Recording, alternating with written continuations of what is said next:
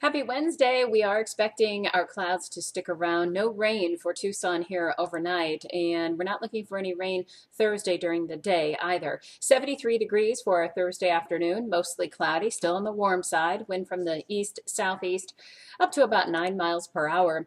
We are expecting those clouds to stay with us throughout the course of the day. We'll even start the day with them at 6 a.m., 48 degrees, up to about 60 by 10 a.m., almost 70 by lunchtime, and then reaching that after afternoon high of 73 right around the 4 to 5 o'clock hour. Now, as far as that chance for rain is concerned, it does move in Thursday night. So we're looking at a 10% chance for rain.